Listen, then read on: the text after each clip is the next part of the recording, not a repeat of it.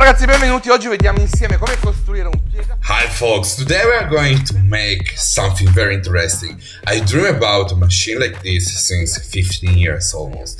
And now that I have enough space to store the machine and also all the pipes I'm going to buy, I can make myself a pipe bending machine. I also need it because I want to make myself a kite buggy, which is a vehicle that can move using the wind and a very huge kite. This will be a later on a new project. And I also bought a new house and I need to put furniture inside. And I decided to make myself design furniture with stainless steel. So let's start with the project.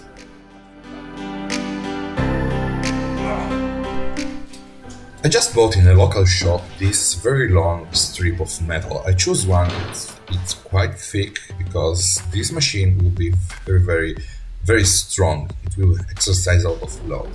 So I mark with a marker some lines on this metal strip and using a grinder I can cut it in three pieces. I suggest you to take your time, do the things slowly because you have to be precise, you have to make a very straight cut. So these are the parts I just cut. I also put some measurements here in inches so you know what I'm doing. The small one is 26 centimeter long and the other one is 60 centimeter long.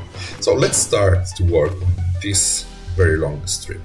I cut it, I mark the halfway of it and add 9.5 centimeter on each side of the half.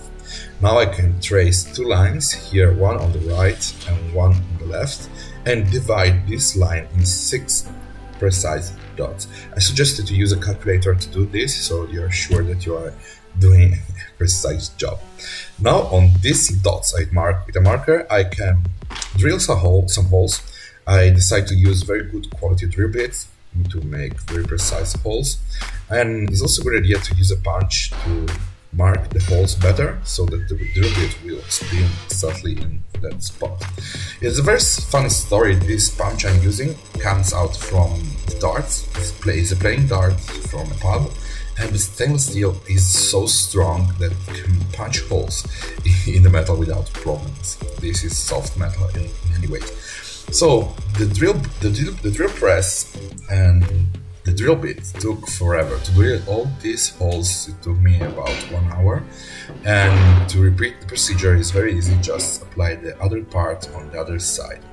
Now let's take some wheels. This came apart from uh, a like factory wheel and this is so old that the rubber is all dry. I'm pretty sure it will break very very easy later on when I'm working with it.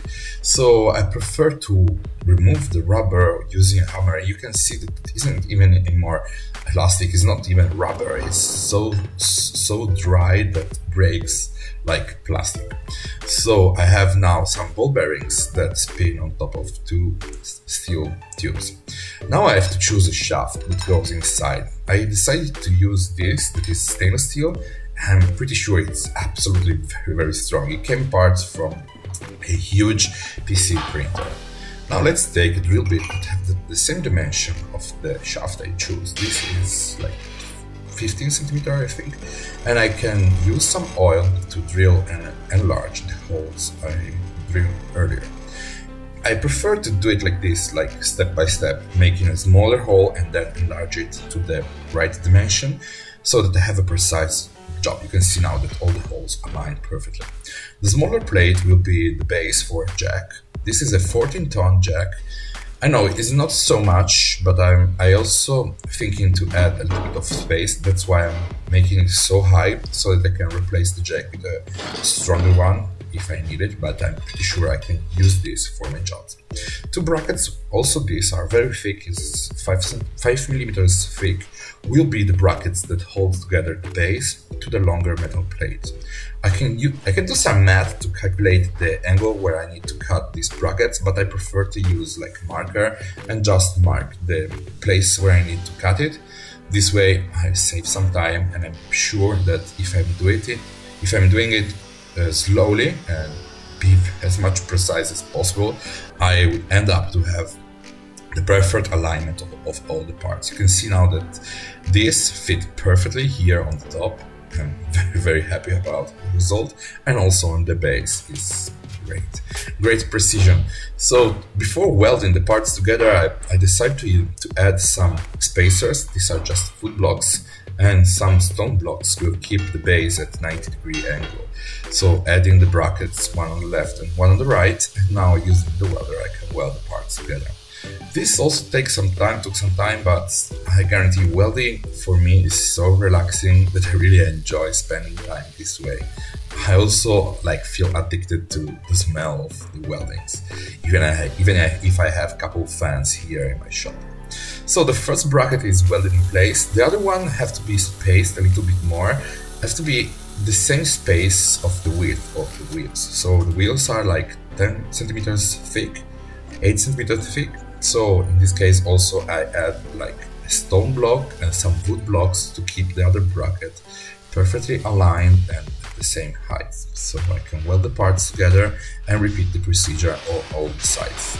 I suggested to do very strong and thick weldings because I repeat you, this machinery will withstand a lot of force. So do the things very, very hard.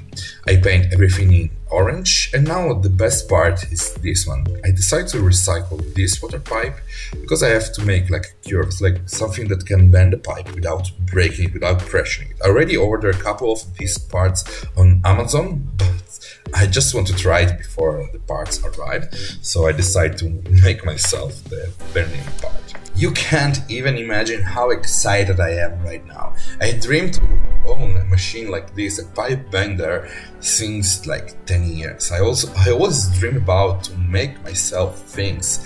Now I have my welding machine, I'm practicing with it, with it and the welding comes even every day much nicer. So I just need to have something to bend the pipes and make better projects. So this will make the my it's a life changer for me. It's a game changer. So the jack goes here on the base. I plan to also change the, the jack because this is only 14 tones jack, which, which is enough for bending pipes I'm planning to use, but I will never know. Maybe in the future I'm going to make bigger projects and I need to have a bigger jack. So that's the reason why I have so much space from the base and the top part of the jack. It's almost, I think it's almost like 40 centimeter and it's it's a very high distance. But I can also put something on the bottom part between the jack and the base the metal base so they can lift up a little bit the jack. The jack itself has a very huge problem that I can solve using these two big springs. I mean the jack cannot go down by itself. Once it's all the way lifted up once it's all extended up cannot go down by itself. Even if i open there is a like a small valve the jack cannot go down by itself. If i need to put some force on the top but because everything is so compact inside the, the bending machine i cannot do it. So i hope that the springs can bring back down the, the parts. I put on some links here on amazon if you are curious. I put these components that are precisely made for pipe bending machine. You can just buy uh, single parts if you need them or all the set if you want and the price is quite good so check it out so this can be fitted here is a very good fit here on top of the jack and then I can hook the springs one here on the right and one on the other side on the left so I hope that the springs have enough force to bring everything down. It's the first time I'm I'm doing I'm using this machine with you, so I'm not sure if it will work or not. So the now it's time to install the wheels. These are ball bearings, are very very very strong and stiff materials. So one goes here on the right and one goes on the left, and I can secure them with two metal pins that I cut away from the PC printer shaft. So this, you can see that the shaft fits perfectly, one on the right and one on the left. And remember also to place the ball bearings inside. So maybe it's a good idea to, to insert the ball bearing before the pin. So now it's time to test the machine. I decided to use something you are pretty familiar with. This is just water pipes that are soft metal, so it will be quite easy, but guarantee you these are very very strong, it's almost impossible to bend it by hand. So I can place it between the jack and the two wheels. Let's see.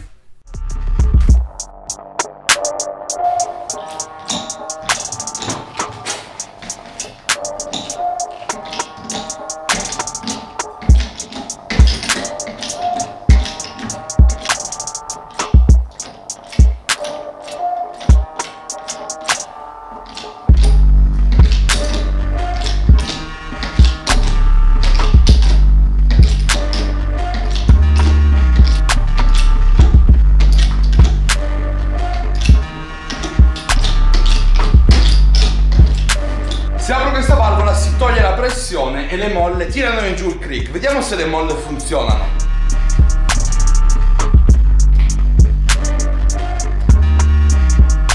Oh sì!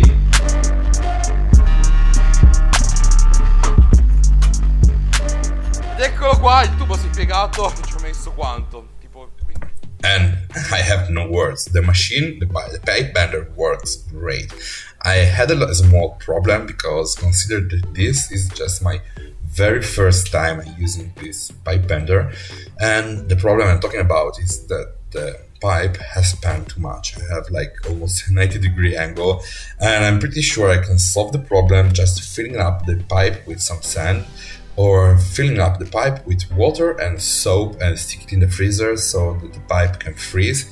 But the soap can guarantee like a smooth cracking of the ice inside the pipe and you don't get like a, a 90 degree angle crack but i'm also sure that once all the parts i ordered on amazon will arrive i can make better curve and solve the problem. So at this point I leave with my two previous projects, so check them out and see you next week do-it-yourself tutorial. Ciao ciao!